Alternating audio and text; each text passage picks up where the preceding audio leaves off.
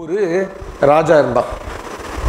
அந்த ராஜா வந்து நாட்டை வந்து நல்லா நிர்வாகம் பண்ணிட்டு மக்கள் மேலே அக்கறையாக ஒரு நல்ல ராஜா அப்படின்னு பேர் எடுத்திருந்தான். மக்கள்லாம் மகிழ்ச்சியாக ரொம்ப நிம்மதியாக வாழ்ந்துட்டு இருந்தாங்க. ராஜாவுக்கு ஒரே ஒய்ஃப் தான். ஒரே அரசி தான். அந்த அந்த ஊர் அரசியை ரொம்ப அன்பு செலுத்தி ரொம்ப ஆழமாக நேசித்து வாழ்ந்துட்டுருக்கிறான் மக்களையும் நல்லா பார்த்துக்கிறான். ஒரு கட்டத்தில் அந்த அரசியினுடைய உடல்நிலை பாதிச்சிடுது. நோய்வாய்ப்பட்டு படுத்த படுக்கை ஆயிட்டாங்க. இவங்களால அதை தாங்க முடியல. எப்படியாவது தன்னுடைய மனைவியை காப்பாற்றிடலாம் அப்படின்ட்டு எல்லா வகையான முயற்சி எடுக்கிறான். ஆனால் ரொம்ப வீக் ஆகிட்டே போகிறாங்க ஒரு கட்டத்தில் ரொம்ப டல்லாக இருக்கிறப்ப மந்திரி என்ன சொல்கிறாரு ராஜா நம்ம வேட்டைக்கு போகலாம் மைண்டை கொஞ்சம் ஃப்ரீயாக வச்சுக்கங்க. அப்படின்னு சொல்கிறாங்க வேட்டைக்கு போனால் அரசிக்கு எதுவும் ஆயிடாதா? நம்ம கூட இருக்க வேணாமா? அப்படின்னு கேட்குறான் இல்லை இல்லை போயிட்டு சீக்கிரம் வந்துடலாம் வாங்கன்ட்டு போகிற சமயத்தில் என்ன ஆகிட்டான் அந்த சமயம் பார்த்து உடல்நிலை ரொம்ப மோசமாகி இந்த அரசி வந்து இறந்துடுறாங்க. இவன் திரும்பி வந்து பார்த்துட்டு ரொம்ப வேதனையாக இருக்குது நான் கூட இருந்திருக்கலாம். என்னை வந்து நீங்கள் இது கூப்பிட்டு போயிட்டீங்க. இப்படி ஆயிடுச்சே. என்னுடைய ரொம்ப நான் நேசித்த என்னுடைய மனைவியை இழந்துட்டேனே. எனக்குமே நீ யார்? எனக்காக யார் இருக்கா? அப்படின்னு ரொம்ப வேதனைப்படுறான்.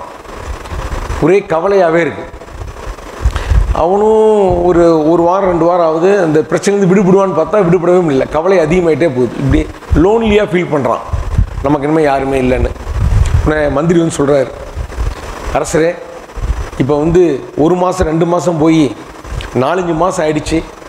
நீங்கள் இதை பற்றியே கவலைப்பட்டுட்டு இருந்தீங்கன்னா நாட்டை நிர்வாகம் பண்ணுறது எப்படி? மக்கள்லாம் ரொம்ப கஷ்டப்படுறாங்க.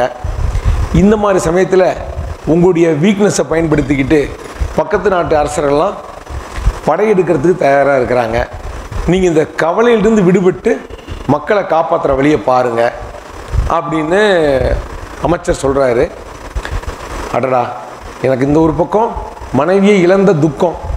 மக்களையும் என்னால் காப்பாற்ற முடியலையே. நான் இப்படி வந்து ஆட்சி இப்படி வந்து நான் கவலையில் சிக்கிட்டேனே நான் அந்த கவலையிலேருந்து விடுபட்டாகணும் விடுபட்டாதான் நான் வந்து நாட்டை கவனிக்க முடியும்.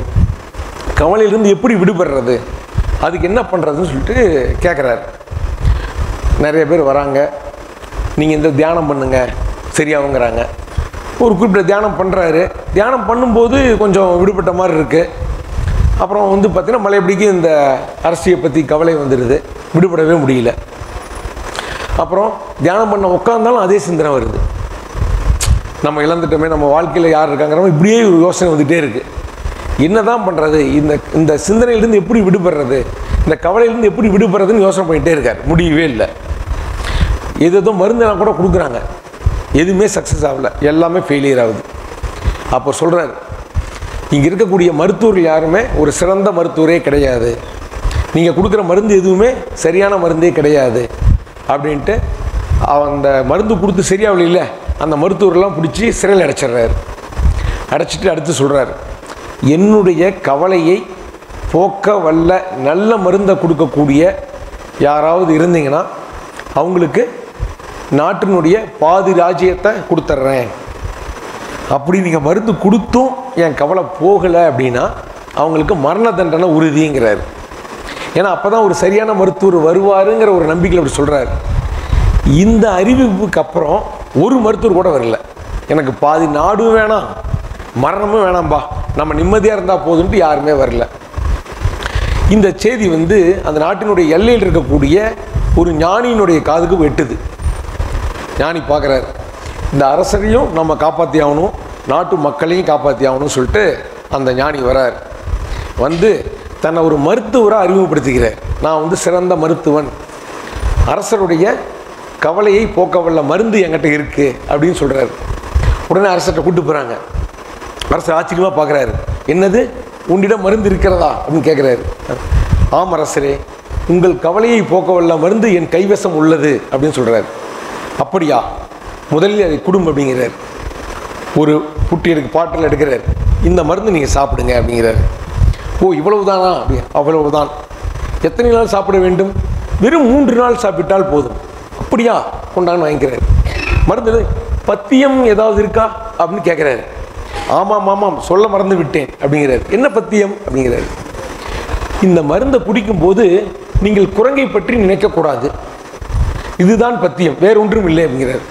அவ்வளவு தானே குரங்கை பற்றி நினைக்கும் பழக்கமே எனக்கு கிடையாது. இதை ஏன் நீங்கள் இவரை சொல்லிக் கொடுக்கிறீர்கள் அப்படிங்கிறார். இவர் இதை சொல்லிக் கொடுக்க வேண்டும் என்பது தான் நிபந்தனை. அப்போது தான் மருந்து உங்களுக்கு வேலை செய்யும். அதனால் கொடுத்துருக்கிறேன். நீங்கள் கவ குரங்கை பற்றி நினைக்காமல் இந்த மருந்தை மூன்று நாள் எடுத்தால் உங்கள் கவலை உங்களை விட்டு பறந்தோடி விடும் அப்படிங்கிறார். அப்படியா? எப்பொழுது சாப்பிட வேண்டும்? காலையில் உணவுக்கு முன்பு உள்ளங்கையில் ஊற்றி உரிந்து குடித்து விடுங்கள். மூன்றே நாள் கவலை பறந்தோடி விடும். நிபந்தனையை மறந்து விடாதீர்கள். குரங்கை பற்றி நினைக்கக்கூடாது. ரொம்ப எளிது. இது மிகவும் சாதாரண விஷயம் அப்படிங்கிறாரு அரசர். நிபந்தனை உங்களுக்கு தெரியும் அல்லவா? அப்படிங்கிறாரு ஞானிக்கிட்ட என்ன? மூன்று நாள் விருந்தினர் மாளிகையில் ஓய்விடுங்கள். மூன்று நாட்களுக்கு அப்புறம் கவலை பறந்தோடினால் உங்களுக்கு நாட்டில் பாதி. இல்லை என்றால் அப்படிங்கிறாரு அனைத்தும் அறிவோம் அப்படின்ட்டு இவர் ஒரு புன்முருவலோட அப்படியே போயிடுறாரு. நாளை காலையில் மருந்தை அருந்த போகிறோம். குரங்கை பற்றி நினைக்கக்கூடாது. அவ்வளவு தானே ஓகே அப்படிங்கிறாரு. தூங்குறாரு. காலில் எந்திரிக்கிறார். மருந்தை சாப்பிட போகிறோம். குரங்கை பற்றி மறந்தும் நினைத்து விடக்கூடாது. அப்படின்னு குளிக்கிறாரு. போய் பூஜையில் போய் சாமி கும்பிட்றாரு. இறைவா இந்த மருந்து எனக்கு நல்லா வேலை செய்யணும். கவலை என்னை விட்டு போயிடணும். குரங்கை பற்றி நினைக்கவே மாட்டேன் அப்படின்ட்டு வர்றாரு. மருந்து எடுக்கிறாரு. உள்ளங்கையில் ஊத்துறாரு. குரங்கை பற்றி ஞாபகம் வந்துருச்சு. அடடா எவ்வளவு கவனமாக இருக்கிறது இருந்தேன். எல்லாம் மீறி குரங்கை பற்றி நினைவு வந்து விட்டதே. என்ன செய்வது? சரி ஐந்து மாதம் காத்திருந்தோம். ஒரு நாள் தானே. போனால் போகட்டும் மருந்து வச்சுட்டார். வச்சுட்டு வேறு வழி இல்லாமல் சாப்பிட்டுட்டு அப்படி யோசிக்கிறார். நாளைக்கு மிகவும் எச்சரிக்கையாக இருக்க வேண்டும். குரங்கை பற்றி நினைக்கக்கூடாது. கவனமாக இருக்க வேண்டும் அப்படிங்கிறாரு. அடிக்கடி யோசனை பண்ணிக்கிறார். சங்கல்பம் எடுத்துக்கிறார். நாளை குரங்கை பற்றி நினைக்கக்கூடாது. அப்படின்னு சங்கரப்படுத்துகிறார் தூங்குறாரு. கனவுல குரங்கு வருது. என்னையா நினைக்க மாட்டேங்க ஏன் முழிக்கிறார்? தது முழிக்கிறார். ஓ கனவா? காலையில் கவனமாக இருப்போம் அப்படிங்கிறார். அடுத்த நாள் வருது. குளிக்கிறாரு. பூஜைகளில் போய் சாமி கும்பிட்றாரு. எடுக்கிறாரு. குரங்கை பற்றி ஞாபகம் வந்துருச்சு. அடடே இரண்டு நாள் வீணாக்கி விட்டதே. மூன்று நாளில் பறந்து விட வேண்டிய கவலை இப்படி தள்ளி போய் விட்டதே அப்படின்னு யோசிக்கிறார். நமது அமைச்சர் வந்து புத்திசாலி. அவரிடம் ஆலோசனை கேட்போம் அப்படின்ட்டு அமைச்சரை கூப்பிட்றாரு. அமைச்சரே இந்த மருத்துவர் இப்படி ஒரு நிபந்தனையை சொல்லி கொடுத்திருக்கிறார். ஆனால் குரங்கை பற்றி நினைத்து விடுகிறேன். என்ன செய்வது என்றே தெரியவில்லை. சரியான ஆலோசனை இருந்தால் கூறுங்களேன் அப்படிங்கிறார். அரசரே மனதின் நுட்பம் என்னவென்றால் ஒரு நேரத்தில் ஒரு சிந்தனை தான் வருமாம். ஓ அப்படியா? ஆமாம். நீங்களாக குரங்கை பற்றி நினைப்பதற்கு பதிலாக ஒரு யானையை கற்பனை செய்யுங்கள். அழகான யானையை கற்பனை செய்து பிறகு மருந்தெடுத்தால் குரங்கு போய்விடும் அல்லவா? மிகவும் நல்ல யோசனை மந்திரியாரே. மகிழ்ச்சி அப்படின்ட்டு அடுத்த நாள் பார்க்குறாரு. நாம் யானைனா எப்படி இருக்கும்? யானையை கற்பனை பண்ணி நாமளாக நினைத்து கொள்வோம் அப்படின்ட்டு முரம் போன்ற காது மிகப்பெரிய தும்பிக்கை சிறிய கண் அப்படின்னு பார்த்துட்ருக்காரு எவ்வளவு பெரிய யானை அப்படிங்கிறாரு. கொஞ்ச நேரத்தில் எவ்வளோ பெரிய குரங்குங்க அளவுக்கு குரங்கு வந்துருச்சாங்க. என்னடா அது? நம்ம யானையை கற்பனை பண்ணால் யானை சைஸுக்கு இப்போ குரங்கு வருது. இதுக்கு முன்னாடியாவது குட்டி குட்டி குரங்காக வந்துச்சு. இப்போ யானை சைஸுக்குள்ள குரங்கு வருது அப்படின்னு யோசனை பண்ணுறாரு அப்புறம் என்ன தான் பண்ணுறது காலையில் ரொம்ப எச்சரிக்கையாக இருக்கணும் அப்படின்னு நினைக்கிறாரு. அன்று இரவும் குரங்கு வருது கனவுல. காலில் எந்திரிக்கிறாரு குளிக்கிறாரு கடவுள்கிட்ட மன்றாடி வேண்டிக்கிறார். குரங்கை பற்றி நினைவே எனக்கு வரக்கூடாது. குரங்கை நான் நினைக்கவே கூடாது. குரங்கை நினைக்கவே கூடாதுன்னு கும்பிட்டுக்கிறாரு. கும்பிட்டு மருந்து எடுக்கிறாரு. குரங்கை பற்றி ஞாபகம் வந்துருச்சு. பெரிய ரோதனையாக இருக்கிறதே அப்படின்னு பார்க்குறாரு. அந்த ஞானி வரார். அரசரே மருந்தை அருந்தினீரா? கவலை பறந்தோடியதா அப்படிங்கிறார். எங்கே மருந்து அருந்தினேன்? மருத்துவரே நீங்கள் மிகப்பெரிய சூழ்ச்சிக்காரர் அப்படிங்கிறார். நானா? உங்களுக்கு உதவி செய்ய அல்லவா வந்தேன்? அப்படிங்கிறார். குரங்கை பற்றி நினைக்கும் பழக்கமே எனக்கு கிடையாது. இல்லாததை சொல்லி என்னை மிகப்பெரிய சிக்கலில் அல்லவா ஆழ்த்தி விட்டீர்கள்? அப்படிங்கிறார். நான் உங்களை என்ன செய்ய சொன்னேன்? குரங்கை பற்றி நினைக்காமல் மறந்துடுங்கள் என்று தானே சொன்னேன். ஆமாம். ஒரு வேலையை செய்ய வேண்டாம் என்று சொல்லியிருக்கிறேன். ஆமாம். ஒரு வேலையை செய்யுங்கள் என்று சொன்னால் நீங்கள் வந்து குரங்கை பற்றி நினைவீங்கள் என்று சொல்லியிருந்தால் எத்தனை குரங்கை நினைக்க வேண்டும் எந்த மாதிரியான குரங்கை நினைக்க வேண்டும் அப்படின்னு நீங்கள் கேள்வி கேட்டிருக்கலாம். செய்ய வேண்டாம் என்று தானே சொன்னேன். நீங்கள் இதில் என்ன சிரமம்? சும்மா இருக்க வேண்டியது தானேங்கிறார் அப்போ தான் ஆமாம் ஆனால் நினைவு வந்து விடுகிறதே அப்படிங்கிறார் என்னது? எப்படி குரங்கை பற்றி நினைக்காமல் மருந்தெடுப்பது என்று என்னை கேட்டிருந்தால் நான் விளக்கம் கொடுத்திருப்பனே அப்படிங்கிறாரு இந்த ஞானி. அப்படியா? முதலில் அதை சொல்லிக் கொடும் அப்படிங்கிறார். உடனே இந்த ஞானி வந்து குரங்கை பற்றி நினைக்காமல் மருந்தெடுப்பது எப்படி அப்படின்னு சொல்லித்தர்றாரு இந்த பதிலில் அவருக்கு சில சந்தேகங்கள்லாம் வருது. அந்த சந்தேகங்களை கேட்குறாரு. அதுக்கு அரசர் அந்த ஞானி பதில் கொடுக்குறாரு. அது ஏற்புடையதாக இருக்குது அந்த ஏற்புடையதாக இருக்கிறத அக்செப்ட் பண்ணிக்கிட்டு அதனோட குழந்தை குரங்கை பற்றி நினைக்காமல் மருந்தெடுக்கிறார் மூணு நாள் ஆகுது. உண்மையிலேயே அவருக்கு கவலை பறந்தோடி விட்டது. அது மட்டுமல்ல அந்த விளக்கத்தை கேட்டதால் அவர் ஒரு ஞானியாகவே மாறிவிட்டார். ஒரு ஞானி ஆட்சி செய்தால் எவ்வளவு சிறப்பாக ஆட்சி செய்ய முடியுமோ அப்படி வந்து அந்த அரசாட்சி பண்ணுறார் என்னுடைய கேள்வி என்னென்னா குரங்கை பற்றி நினைக்காமல் மருந்தெடுப்பதற்கு என்ன பதில் கொடுத்திருப்பார்? நமது ஞானி. அப்படி இதில் வந்து ஏற்கனவே இதற்கு பதில் தெரிந்தவர்கள் ஏற்கனவே முகாமில் கலந்து கொண்டவர்களை தவிர மற்றவர்கள் பதில் கொடுக்கலாம். குரங்கை பற்றி நினை எப்படி நினைக்காமல் இருக்க முடியும்? நினைக்காமல் மருந்தெடுப்பது எப்படி? அதான் இந்த ஞானி என்ன சொல்லியிருப்பாருங்கிறது தான் இப்போ கேள்வி. யாராவது தெரிஞ்சவங்க பதில் கொடுங்க. நல்ல பதில் கொடுக்குறவங்களுக்கு நாட்டில் பாதியெல்லாம் தர முடியாது. கவலைகள் வைத்திருக்கும் தீர்வுக்கான புக்கு வந்து உங்களுக்கு ஒன்று வழங்கப்படும். ஐயா கையால் சைன் பண்ணி உங்களுக்கு கொடுக்குறோம். சொல்லுங்கம்மா மைக் கொடுங்க.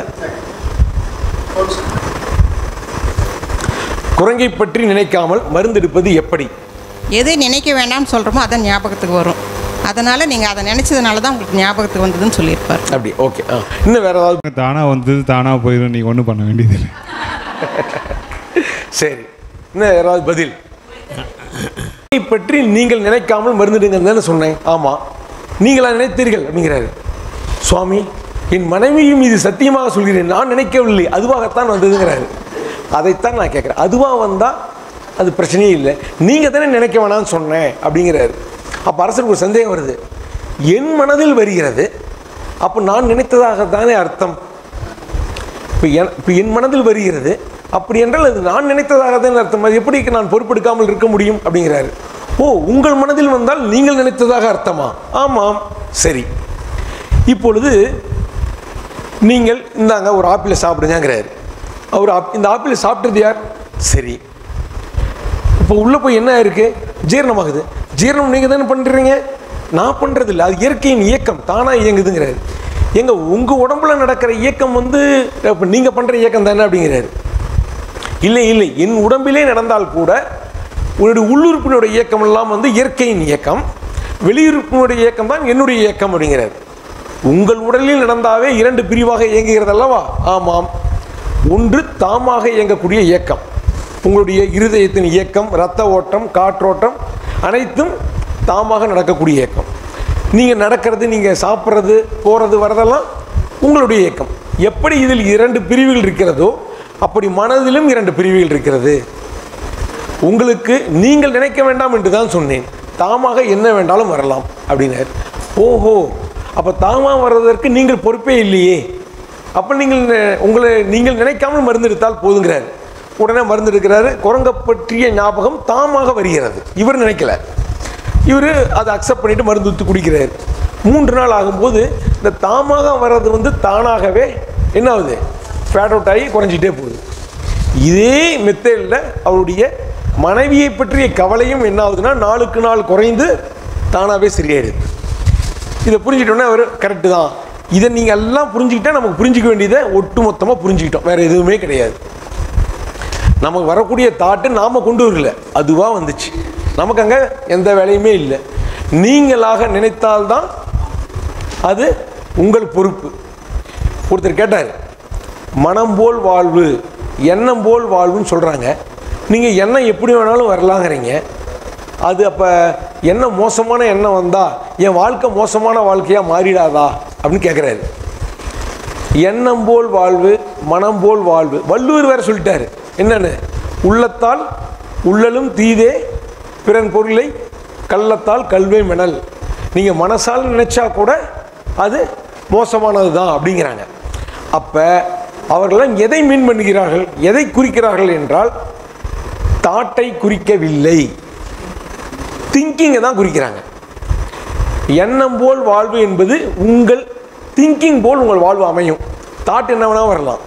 தாட் என்பது எனர்ஜியே இல்லாதது. தாட்டுங்கிறது எனர்ஜியே கிடையாது.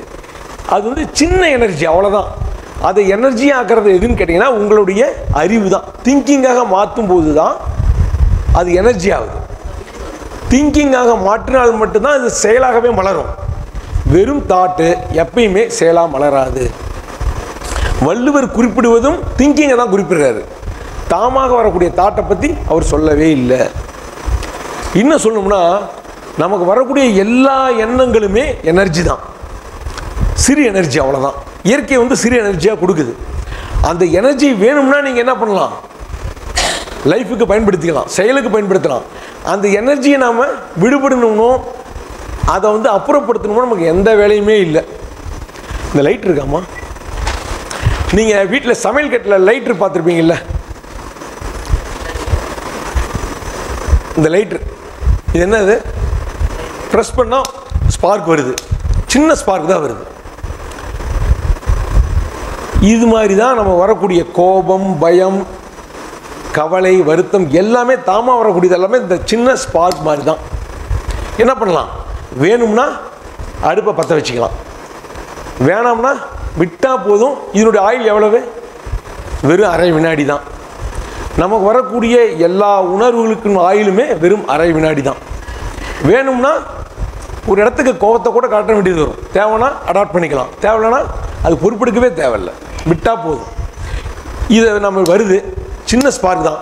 இந்த சின்ன ஸ்பார்க் பிடிக்கல அப்படின்ட்டு பெட்ரோல் ஊற்றினா என்ன ஆகும்? இப்படி தான் நம்ம வரக்கூடிய உணர்வுகளை நீங்கள் வந்து விடுபடணும். அதை வந்து நீக்கணும்னு நினைக்கிறதும் இந்த சின்ன ஸ்பார்க்கை அழிக்கிறதுக்கு பெட்ரோல் ஊற்றுறதும் ஒன்று தான் அதுதான் ஆபத்தாக போகும். ஒன்றும் பண்ணலனாவே இது இது வந்து தோன்றி மறையக்கூடிய ஒரு விஷயந்தான் இதை புரிஞ்சுக்கிட்டாவே போதும். மனசில் வரக்கூடிய எல்லாமே நமக்கு இயற்கை கொடுத்துருக்கக்கூடிய எனர்ஜி டென்ஷன் பயம் கோபம். நீங்கள் இதெல்லாம் நெகட்டிவ்னு சொல்கிறீங்களோ எல்லாமே எனர்ஜி தான். எனர்ஜியை தேவைன்னா அடுப்பை வைக்கிற மாதிரி நீங்கள் செயலுக்கு பயன்படுத்திக்கலாம். தேவைன்னா விட்டால் மட்டும் போதும். இதில் மாற்றி அமைக்க வேண்டிய அவசியம் எதுவுமே இல்லை. ஓகேங்களா? நல்லா புரிஞ்சுக்கிட்டோம். இது கடந்த மாதம் நடந்த ஞான முகாமின் ஒரு பகுதி முழுமையான ஞான புரிதலுக்கு ஸ்ரீ பகவத் ஐயாவின் ஞான புரிதல் அகம்புறம் முழுமனம் உணர்மனம் சரவணன் ஐயாவின் தாட் திங்கிங் போன்ற வீடியோக்கள் அடங்கிய முழு ஞான முகாம் வீடியோக்களை பார்க்கவும். இதற்கான இணைப்பு கீழே கொடுக்கப்பட்டுள்ளது. நன்றி.